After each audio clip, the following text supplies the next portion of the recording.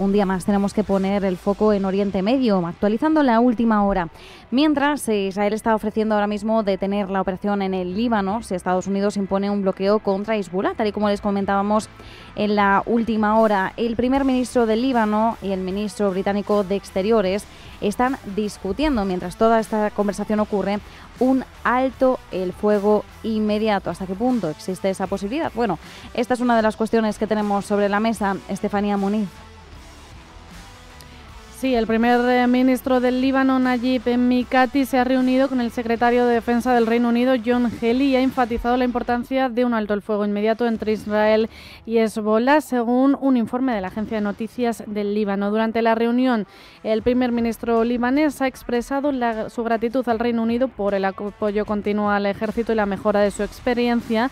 Y entre tanto, eh, el medio de noticias israelí Canal 12 ha informado que Israel ha sugerido no ampliar sus operaciones terrestres en el Líbano si Estados Unidos impone un bloqueo para evitar que Hezbollah mejore sus eh, capacidades. Más noticias en referencia a Oriente Medio. Estados Unidos ha instado a Israel a no aprobar el proyecto de ley que prohíba la presencia del UNRWA, ya saben eh, que son el organismo de obras públicas y socorro de las Naciones Unidas para los refugiados de Palestina y también en Estados Unidos eh, Matthew Miller, el portavoz del Departamento de Estado, ha instado a Irán a evitar una mayor escalada de tensiones en la región tras el ataque de Israel. Evita, dice que evite Irán esa escalada de tensiones, eh, subrayando la importancia de que se abstengan de tomar eh, represalias. Lo ha hecho en una conferencia de prensa. El portavoz ha reafirmado el derecho de Tel Aviv a la legítima defensa del ataque con misiles balísticos del eh, pasado 1 de octubre y enfatiza que el ataque de represalia en la noche del 25 al 26 de octubre debería ser suficiente para finalizar el asunto. En cuanto a Hamas, Israel denuncia que el eh, grupo terrorista no responde a la propuesta de alto el fuego. Y mientras tanto, el presidente Joe Biden emite su voto anticipadamente antes de las elecciones del 5 de noviembre. Lo ha hecho en el estado de Delaware. Biden ha emitido su voto presidencial anticipado y ha arremetido duramente contra el mitin de Donald Trump.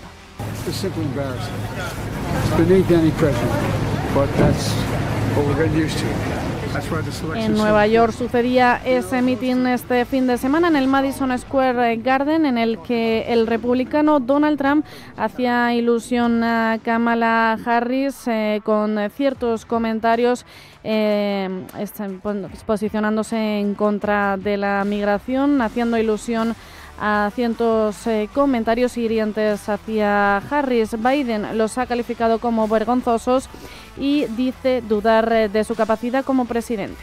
Y en medio de una temida escalada en el conflicto en Ucrania, el Pentágono ha confirmado que 10.000 soldados norcoreanos están desplegados para ser entrenados en Rusia.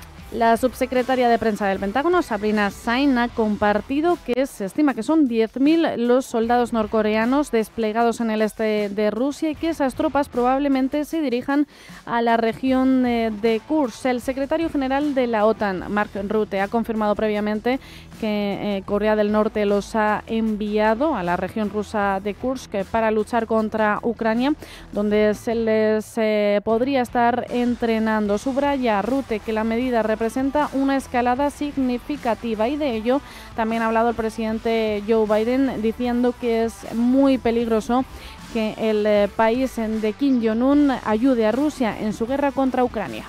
En clave electoral, el fiscal del distrito de Filadelfia demanda al magnate, del fiscal de distrito, perdón, de Filadelfia demanda al magnate Elon Musk eh, por facilitar obsequios, eh, bueno, ese sorteo que está haciendo eh, diariamente, de un millón de dólares a votantes en el Super PAC. En un esfuerzo por impedir que el magnate tecnológico de un millón de dólares a votantes aleatorios registrados en los siete estados clave. Según el eh, comunicado del Distrito de Filadelfia, el fiscal tiene el deber de proteger al pueblo de las molestias públicas y las prácticas comerciales desleales, incluidas, lo llaman, loterías ilegales. Menciona además el fiscal la integridad de las elecciones. La demanda alega que Elon Musk y su super PAC estarían engañando a los ciudadanos de Filadelfia y a otros en la Commonwealth para que compartan información personal y hagan eh, una promesa política a cambio de una oportunidad de obtener ciertas ganancias económicas. El primer ministro de Reino Unido, Keir Starmer, anuncia que tomará decisiones difíciles ante la realidad fiscal que atraviesa el país a dos días de la presentación de su primer presupuesto. En un mensaje destinado a allanar el camino al primer presupuesto laborista en 14 años, el Premier anticipa que no tendrá más remedio que tomar medidas duras porque ignorarlas, dicen, nos llevarían por el camino del declive. Nobody wants higher taxes, just like nobody wants public spending cuts. Momento para ignorar el coro populista tras el agujero fiscal de 26.000 millones eh, de euros heredado del ex premier conservador Rishi Sunak prese a la promesa electoral de Starmer de no subir los impuestos que afecten a los ingresos de la gente trabajadora, el Premier ha recibido duras críticas de antemano por su decisión de subir las cotizaciones a la seguridad social y por la posible subida del impuesto sobre los combustibles. El Premier pretende hacer pagar el IVA a las escuelas privadas, subir el impuesto sobre las ganancias de capital y elevar el de sucesiones a las propiedades agrícolas para agravar los grandes terratenientes. Son algunas de las propuestas que conoceremos este miércoles cuando Reino Unido presente el primer eh, presupuesto laborista en 14 años.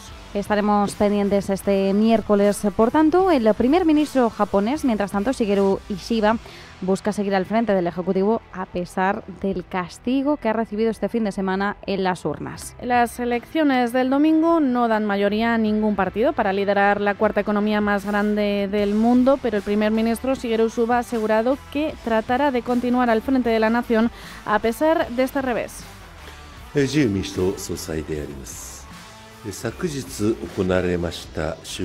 Su partido, el Partido Liberal Demócrata, formación que lidera apenas desde este mes y de octubre ha ganado los comicios, pero junto a su tradicional socio, el Partido Budista con Meitu, que se ha quedado en 215 escaños, muy lejos de los 288 de la legislatura anterior y a una distancia bastante considerable de los 233 necesarios para controlar la Cámara Baja de 456 asientos, mientras la oposición progresista, el Partido Partido Constitucional Democrático mide sus posibilidades de formar un ejecutivo alternativo de coalición que de momento los expertos creen bastante improbable. Tras las elecciones ahora se abre un periodo de 30 días en la que se celebrará una sesión especial en el Parlamento en la que los diputados podrán votar al próximo primer ministro. La cita podría ser el 11 de noviembre, según medios locales, y la incertidumbre también afecta al yen, que lo ha situado, lo ha enviado a un mínimo de tres meses, mientras que los analistas se preparan para días o semanas de disputas políticas a la hora de formar gobierno y volatilidad en el mercado. Un último apunte en forma de noticia económica. Volkswagen es la empresa protagonista en el eh, viejo continente porque prepara el cierre de tres fábricas en Alemania y el despido de miles de trabajadores. El fabricante automovilístico germano planea cerrar al menos tres fábricas en Alemania, según ha asegurado este lunes la presidenta del comité de empresa, Daniela Caballo, en un encuentro con la plantilla. De hacerse realidad, sería la primera vez que en sus 87 años de historia se cerrara una planta en territorio alemán. Y para hablar de ello, hemos tenido en los micrófonos de Radio Intereconomía en el programa Cierre de Mercados Alfredo Morales, secretario general de la sección sindical de UGT en Volkswagen Navarra lo que estamos viviendo es una situación de, entre comillas, de cierta tranquilidad, porque ahora en, Volkswagen Navarra estamos en un proceso de reconversión de nuestra fábrica, porque fabricamos en estos momentos dos modelos eh, de combustión y estamos preparando la fábrica. Eh, este año, por ejemplo, vamos a, vamos a ejecutar un nivel de inversión de 250 millones de euros para hacer una fábrica bivalente y poder fabricar vehículos eléctricos y de combustión.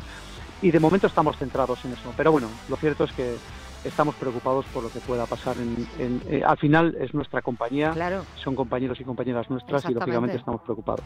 Todo esto y seguramente otros factores también han hecho que bueno pues que entremos en barrena, es decir, no vendemos los coches eléctricos, nuestros modelos no gustan y no tenemos dinero para poder cumplir con el objetivo que es la transformación hacia el eléctrico. Por eso digo que el epicentro está en Alemania porque ahora mismo todo ese trabajo se ha hecho allí y de donde se ha nutrido de China es allí. Y bueno, este es un poco el, el marumagnum que tenemos ahora mismo.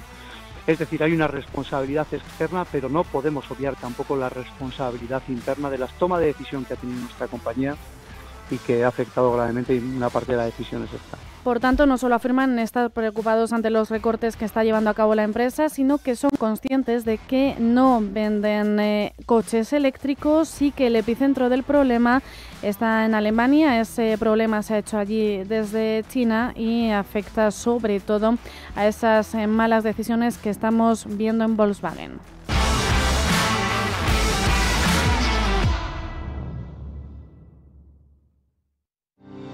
Sabemos que la primera condición para invertir tu dinero es la